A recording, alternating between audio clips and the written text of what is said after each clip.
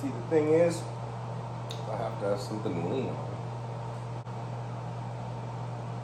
How do I get it backwards? Alright, remember to go under.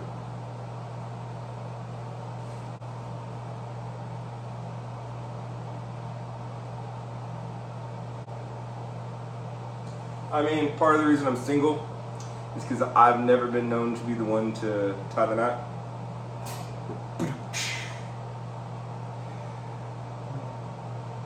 At this point, I probably need a good woman or somebody to tie the knot. Prefer a woman.